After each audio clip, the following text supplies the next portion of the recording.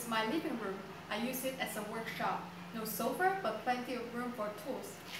These are the part bins I use for any extra components I order. This is my larger 3D printer. It's a bit slow and troublesome, so I only use it when I have to print something large. My workbench that you've seen in my view videos. More storage bins inside.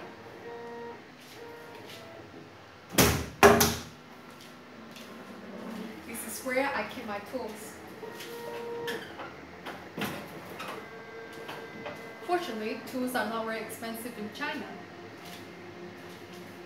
My workstation, this is where I do my work as a freelance developer. It rolls around, which is pretty convenient.